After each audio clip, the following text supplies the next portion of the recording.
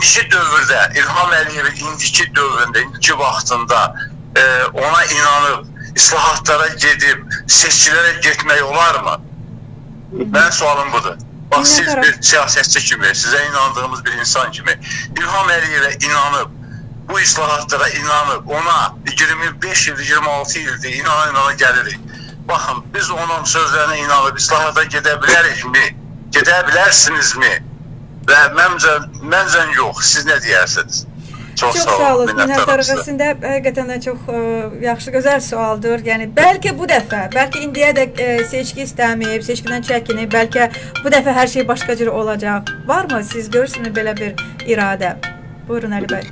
Çox sağ olun. E, təşəkkür edirəm əvvəla xoş sözlərə görə hörmətli tamaşaçılarımızın hər birinə.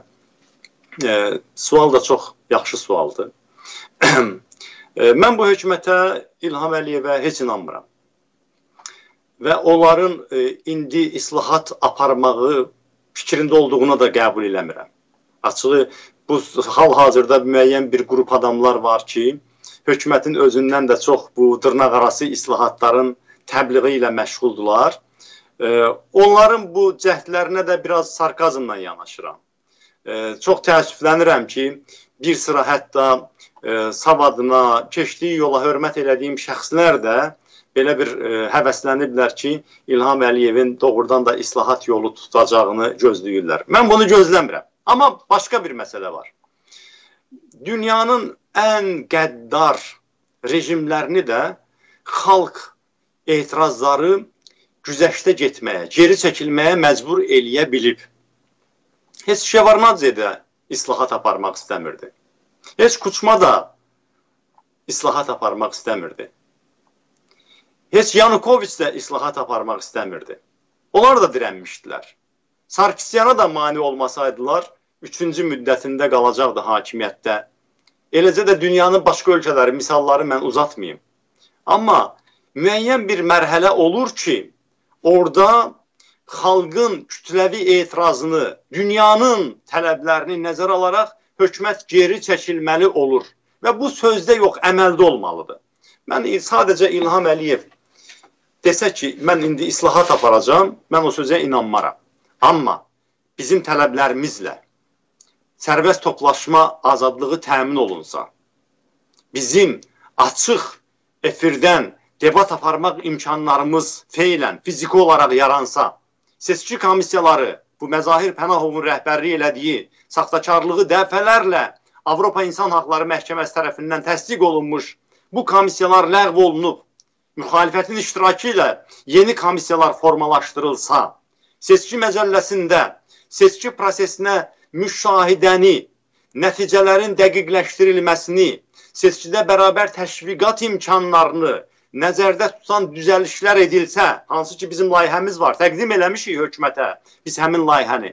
Bunlar əməli şəkildə qəbul olunsa, artıq biz kiminsə sözünə yox, bu dəyişiklikləri əsas götürərək seçkiyə gedərik və o seçkidə də qalib gələrik.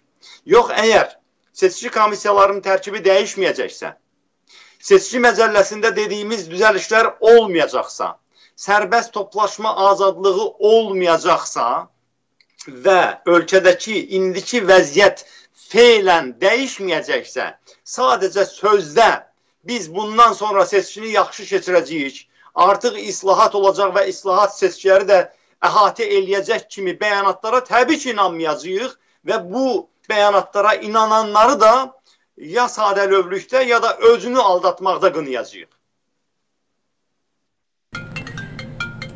Təşəkkür edirəm Əli bəy. E, burada isə mən e, düşünürəm ki, sualın e, bəlkə ikinci hissəsi yaranır. Yəni siz dediniz ki, e, bundan ötürü hökuməti məcbur etmək lazımdır belə bir e, seçkiyə getmək. Adə məsələdir ki, o getmək istəmir, o sadəcə olaraq ömürlük e, bu hak ali hakimiyyətin davam etməsini istəyir. Bəs bu e, məcbur etmək özü nədən keçir? Əlbəttə ki, kütləvi etirazlardan. Bilirsiniz Sevinç xanım, e, biz 19 yanvardan sonra 6 dəfə mitinqlər üçün müraciət elədi, imkan verilmədi. Sonra da gəldi yay ayları çatdı və biz biraz da istədik ki, e, beynəlxalq strukturlara imkan yaradaq ki, onlar Azərbaycan hökumətinə təzyiqlər eləsinlər. O proses gedir və mən ümidvaram ki, biz bu faiz mütləq mitinqləri bərpa eləyə biləcəyik. Biz meydanlara çıxanda artıq çox böyük kütlə ilə çıxmalıyıq. Yəni biz elə sürət götürməməliyik ki, ha, yenidən biz 20 min, növbəti mitinqdə bəlkə 25 min, ondan sonraki mitinqdə 30 minə çatmağa çalışaq. Biz belə hərəkət eləməli deyilik. Biz artıq millətcə elə hazırlıqlar görməliyik ki, bizim legitim və dinc qaydada toplaşma imkanımız olanda artıq biz meydanları dolduraq və artıq ən azı 50 minlik mitinqlərlə prosesi başlayaq.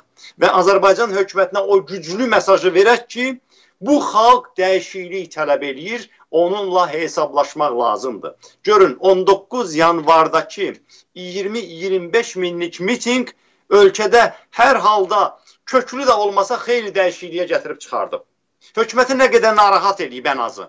İndi özünüz düşünün ki, əgər bizim növbəti dəfə meydanlara çıxanda bizim 50 min və daha artıq sayda nümayişçimiz həmin o dinc mitinqlərdə iştirak eləsə, görün ölkə necə gözümüzün qabağında dəyişəcək. Yalnız o halda seçki məcəlləsinin dəyişməsindən söhbət gedə bilər. Seçki komissiyalarının yenidən təşkilindən söhbət gedə bilər.